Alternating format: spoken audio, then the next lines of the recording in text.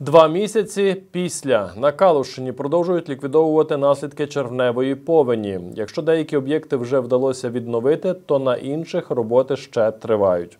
Переправи та дороги, які найбільше пошкодила стихія, під час робочої поїздки оглянув голова Івано-Франківської обласної держадміністрації Віталій Федорів. Усі деталі далі.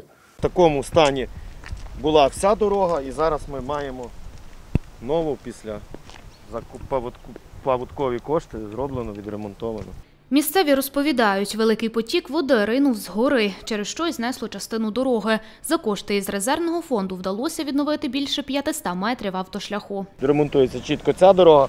Ця дорога, цей напрямок це комунального, його вже зроблять за кошти місцевої громади. А це ще один об'єкт, який зруйнувала повінь 2020-го. Пішохідна кладка з'єднує дві частини найбільшого на Калущині села Голень. На сьогоднішній день, як ми бачимо, е, пішохідна кладка практично повністю відновлення, що дасть можливість жителям вільно нею користуватися, мати гарний доступ до центральної частини села, оскільки в центральній частині села знаходиться і загальна е, е, наша школа, в якій навчається 520 дітей нашого села.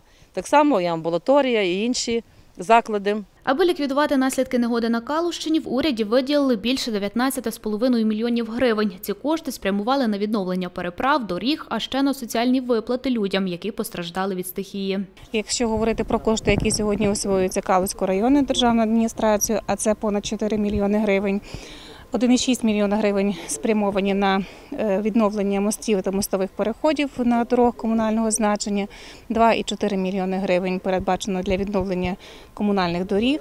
То на сьогоднішній день з 14 об'єктів е, вже по 11 укладено угоди, по 5 розпочато роботу. По трьох об'єктах вже роботи на стадії завершення. Власне, сьогодні ми мали можливість їх відвідати. Неодноразово голова Івано-Франківської ОДА на нарадах наголошував щодо використання бюджетних коштів, які виділив уряд на ліквідацію наслідків стихії, усім посадовцям потрібно поставитися відповідально і спрямовувати їх лише за цільовим призначенням. Всі ці об'єкти виставлені на сайті Прозоро облдержадміністрації, відповідний розділ, три переліка на даний час там є. І е, на даний час більше 175 угод вже укладено. Пішли перші серйозні проплати, е, авансування.